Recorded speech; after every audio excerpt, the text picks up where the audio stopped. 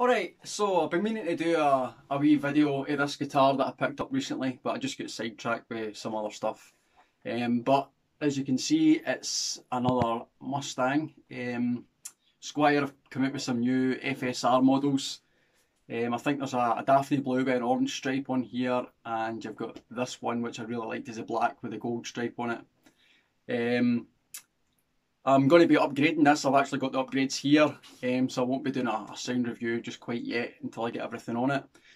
Um, but so far what I've done is I've uh, sanded the neck as usual, because usually the necks feel just a wee bit kind of rough. Um, I conditioned the fretboard, polished the frets, so all that's been done so far. And I've also installed these Gotoh locking tuners, which are really good. I put these in most of my guitars. Um, they do vintage style ones and modern sort of ones like these, which went better than this guitar. Um, so they're really good, sturdy. A um, couple of Gotoh string trees on there as well, replacing the butterfly ones that were on it. Um, I've also upgraded the knobs so far to these um, retro style knobs, which I think are really cool. And my next upgrades that I'm going to put on it tonight is this pick guard here to make it the HS configuration, which I prefer which is the Cobain configuration really, which will go on there. So I'll have the humbucker and a single coil in the neck. And it'll be in the bridge, it's the Seymour Duncan Custom Hybrid Zebra humbucker.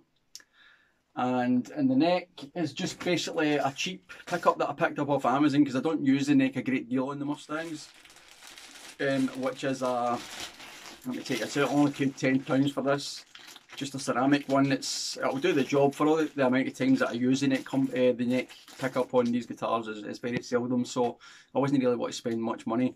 And I saw this on Amazon for £10 and I thought well I'll try it. If I don't like it I can always swap it out later for a, an iron gear or something similar. So it's actually a Rails um, single coil humbucker pickup it's single coil size obviously and that's going to go in the neck. Other than that I'm putting a couple of new pots in there as well and a new switch. So basically everything hardware wise just came off. Also put on a new bridge as well with Gotoh saddles. It's a top loader bridge because this is obviously not string through, but I actually prefer top loaders. Um, so yeah, there we go. That's it. Set up, ready to go. As I say, a few of the upgrades are already on there. I'm going to put in the pickups, the new electrics, the new pick guard, get some strings on it, and then I'll do a wee sound review after that, see how it sounds. But um, just like normal, they need a wee bit of attention when you first get them. Um, it's really easy to get some sandpaper and sand the neck so it's nice and smooth. Sometimes people like to oil them, I've done that before. This time I didn't bother, I just sanded it. Uh, tuners are a, a, definite upgrade, but I do that in all my guitars.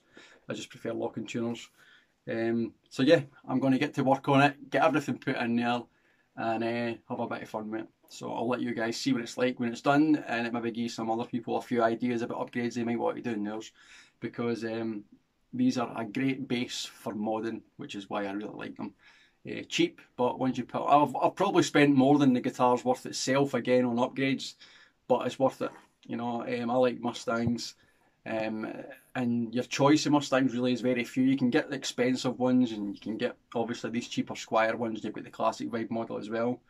Um, but they're just fun wee guitars, and I just uh, I find it better just to buy the cheaper one, do the work that I need to do to it, um, get the upgrades put on it, and I've still got a really good giggable guitar for still not very much money.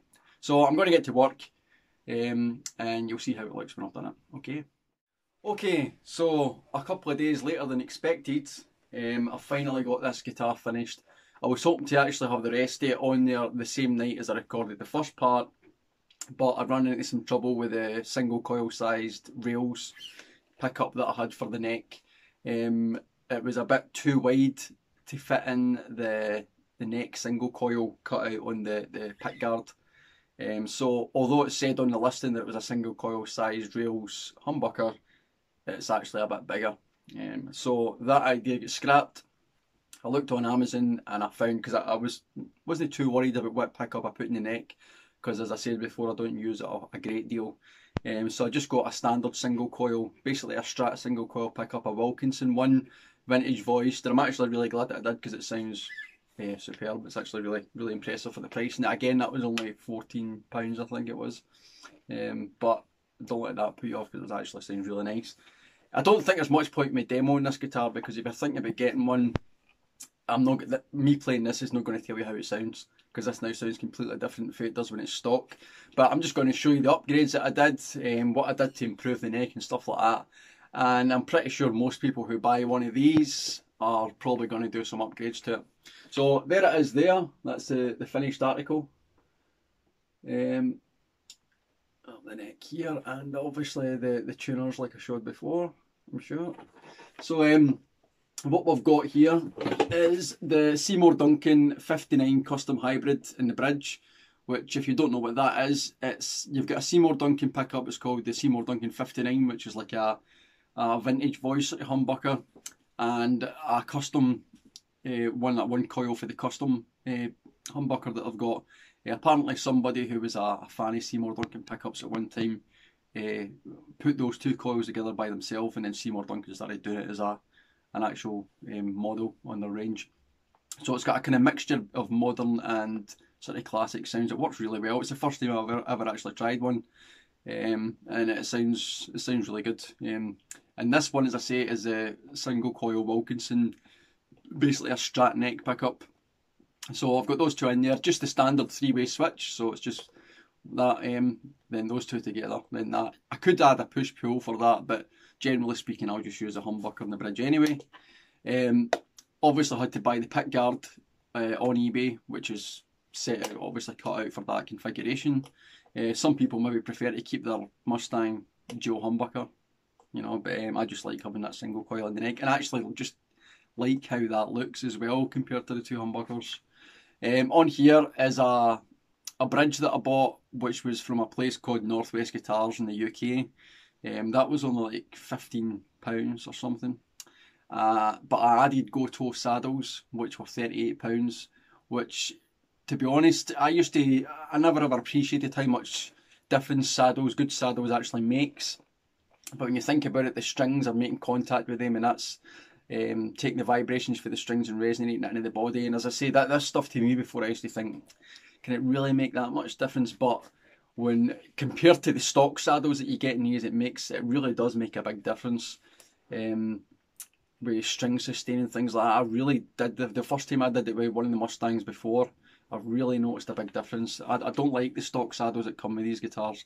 The hardware on it is really is really pretty cheap and it's functional, but long term, or if you're going to gig the guitar, you you really need to think about changing it. In my opinion, anyway. Um, this is um, just um, sort of vintage style or um, retro style, sorry, uh, knobs that I bought that I just think look a bit cooler than the stock ones. Although the stock ones are fine, but I just I just like these knobs. I've got them in another guitar as well, and I just think they look cool. Um, so I've got them on there. I changed the pots to solid shaft alpha pots.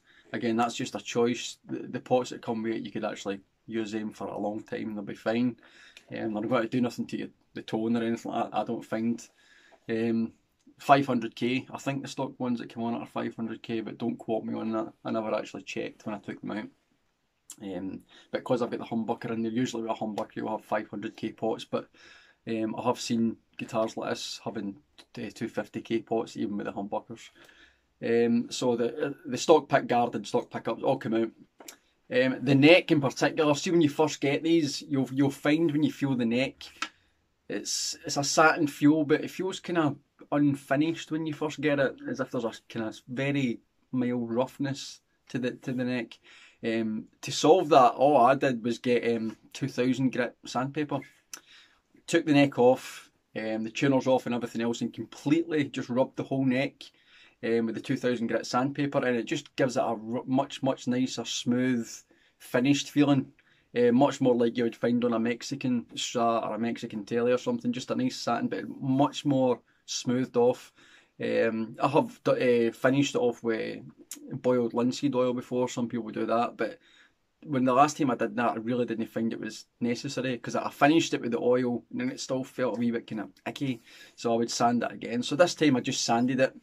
What you will find is when you sand the neck, I found this the times I've done this before as well, is that the, the Squier decal, that's not deliberate in my part. I would leave the Squier there, I don't mind. Um, but when you're sanding the neck, it starts to come away. So rather than just leave it sort of half on or faded, you just sand a wee bit more and it really comes away very, very easily. So that's not a deliberate thing in my part. I don't mind I'm quite happy for people to know this is a Squier. It's got the Squier uh, neck plate. I mean, I don't mind that one bit. I'm not trying to pass it off as something else. Um, but it will come off when you're sanding the neck, so it's no big deal. Um, and obviously, one of the most important things for me was decent tuners. And I just, you, you don't need to go for locking tuners like this, but I just find these so much easier. They're probably the most expensive upgrade, other than the, the bridge pickup. Um, hardware wise, um, the most expensive upgrade I put on the guitar. These were like about £70, these tuners, but worth every single penny. And oh, I kept all the stock hardware because in the unlikely event that I might sell this guitar if I get something another Mustang that I, I think's better or something, I can just put all the old hardware back on it uh, and sell it um, just as it would be if it was stock. But I'm not planning on doing that. But I keep it anyway just in case because you never know. So the, the pin lock and tuners on there, and the reason I find them better is just because when you pull the string through, you don't have to wind or anything like that. You just pull the string through, tighten it back and tune up, and that's it. And they're really stable, and they hold their tune really well.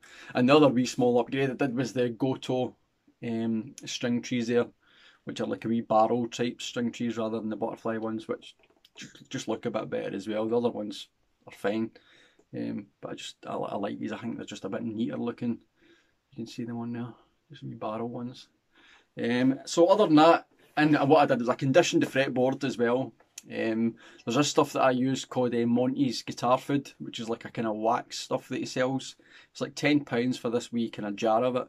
Um, which you might think sounds expensive, but it'll last you for ages. Um, and you just put some of that up and down the, the fretboard and then just kind of buff it off, leave it on for a bit and then buff it off and it just gives it a nice smooth feeling and conditions. It takes any dryness of that away. Um, so it feels really super smooth. And obviously polish the frets because when you first get one of these guitars, see if you go got that and bend the string, you'll hear like a scratchy sound. And it's just that they've not really been finished very well. Just the same as the neck, they've not really been smoothed that well. So get this stuff called a micro mesh. You'll get it in Amazon as well probably, or eBay. Micro mesh um, fret polishing kit.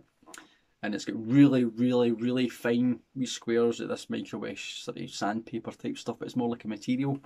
And you use a kind of rougher one to start with and then go to the really fine one and it polishes them up to a nice shine. And now, really smooth when I'm bending and other than that, that's it. I mean, that's it now done. it And I could quite easily gig this, be happy, and it'll be stable. It's going to sound good because the pickups sound great.